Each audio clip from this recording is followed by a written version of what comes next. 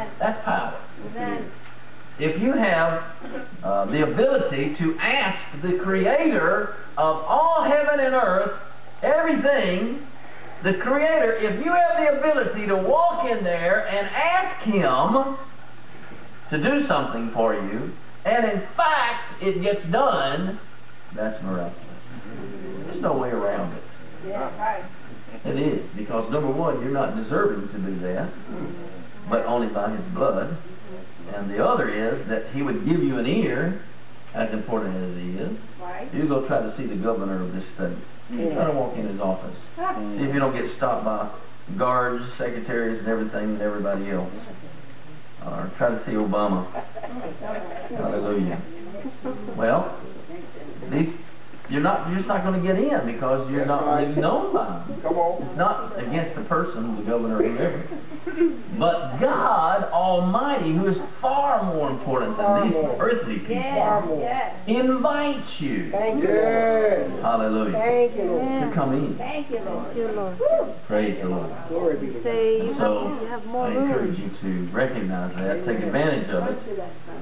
Look in Luke 24, please. Luke chapter 24. Thank you, Lord. God is good, isn't? Yes, he is.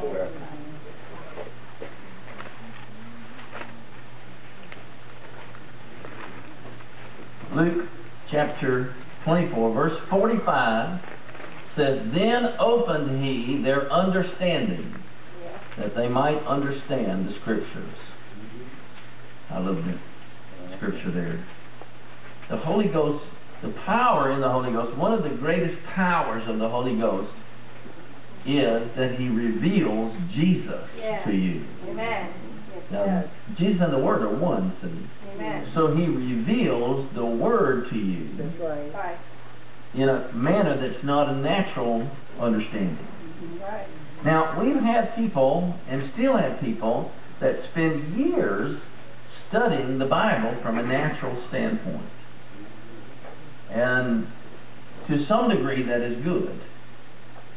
But if you just do it from a natural standpoint, without the Holy Spirit's revelation opening your inner eyes, then you're going to get off into the letter again, Right. into the law, into condemnation.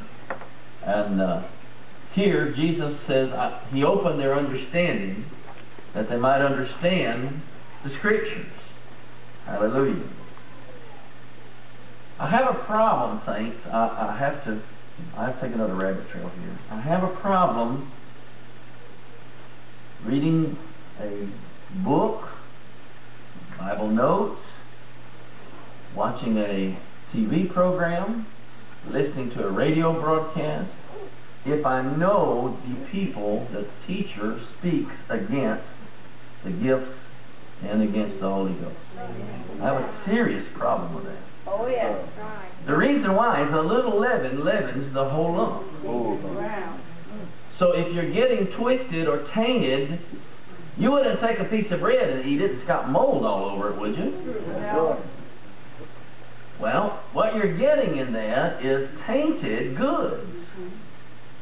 And you may say, well, I'm going to pick out the bones and keep the meat. Well, I don't know if you're able to do that, to be honest with you. You're back into your own strength if you think you can. Yep. God has to reveal to us His Word. Yes, And if I already know that someone is teaching incorrectly, I need to leave them alone. Yes, sir. Yeah. Quick. So. Just set it down and do something else. Get with my daughter. Hallelujah. That's why you have a church, you know that, right? That's why you have pastors, Amen. leaders in your church to help guide you, to keep you on track, because there's a lot of weird stuff that goes on out there. Oh, my goodness. There's a lot of ungodly stuff in the name of God. Terrible, terrible. There's a lot of religion out there when we don't want to be religious, we just want to love God. Amen. Amen. Amen. And uh, we don't have cable TV in the house, thank God. And uh, so we watch movies.